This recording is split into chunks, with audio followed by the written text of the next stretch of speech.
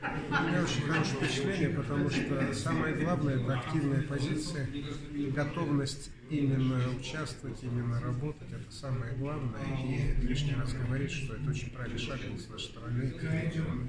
Потому что здесь есть как проблемы, так и понимание того, что эти проблемы сообща решать лучше.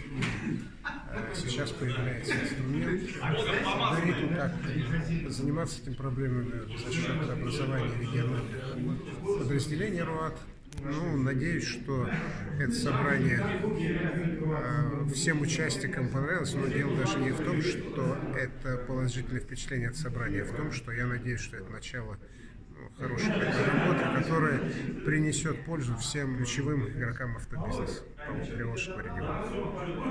Мероприятие очень понравилось. Оно было первое такое у нас после длительного, наверное, э, необщения было первое такое заседание, когда все собрались не в онлайне, а в офлайне. Вот. А, предоставилась возможность выговориться, предоставилась возможность увидеть друг друга, пообщаться, поделиться какими-то э, мнениями, событиями вот, и э, планами на будущее. Я очень рад, что все восприняли все позитивно и с надеждой в будущее. Практически все из заявленных все приехали. Вот. Даже приехали те, кого забыли пригласить. Это было очень здорово. Это уже успех большой. Вот. Ну а то, что родилось в качестве, наверное, каких-то бизнес-идей, это, я думаю, получит продолжение у нас уже в дальнейшей работе. И очень многие идеи, они понравились, и будем их транслировать на все общество. Для чего нужны это мероприятие? Я считаю, что без этих мероприятий вообще нет, эм, наверное, никакого смысла проводить любую общественную деятельность. А общественная деятельность, она э, жиждется именно на встречах людей. Вот встречи ну, место красивое, погода, слава богу, хорошая, как кормят вкусно. А какие кипели страсти, это надо было слышать и смотреть. То есть люди, во-первых, а, истосковались по живому общению, Саша. телефон уже у всех уши стали в два раза больше. А, вот, поэтому работать в этом направлении нужно, важно и обязательно. То есть встреча в неформальной атмосфере, она гораздо продуктивнее, гораздо наверное, ну, вот эти неформальные все эти позывы, они э, больше вычленяют э, пози позитивных и нужных моментов для дальнейшей работы. Это нужно помнить и всегда этому следовать.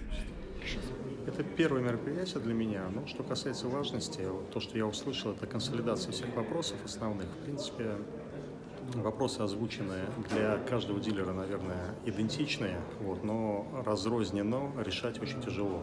А, что касается потребительского экстремизма, что касается общей организации работы внутри дилерских центров.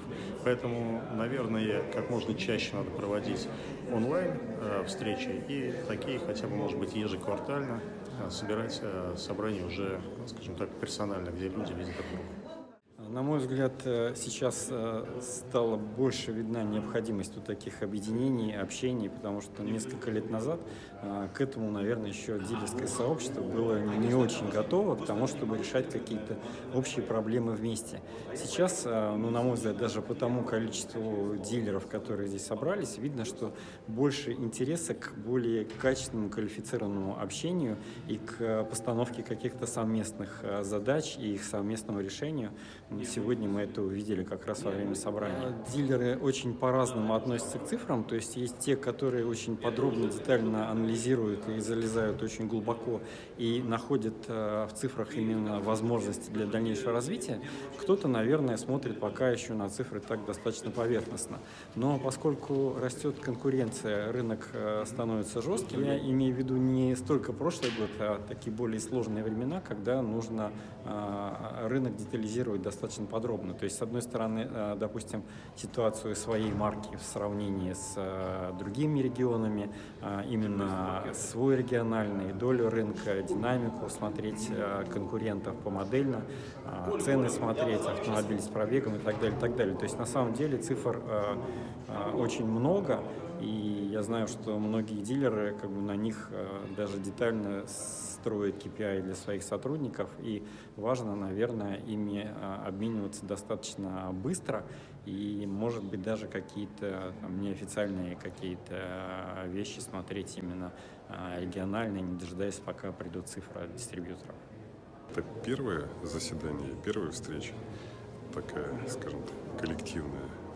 И понятно, что многие приехали, и я в том числе, только поддержать Вячеслава. Вот, э, потому что ходили слухи уже год назад, что он собирается быть президентом. Соответственно, мы в него верим, давно его знаем и приехали поддержать. Мы сейчас находимся в молодом рынке, можно сказать, да, по сравнению с европейским или американским.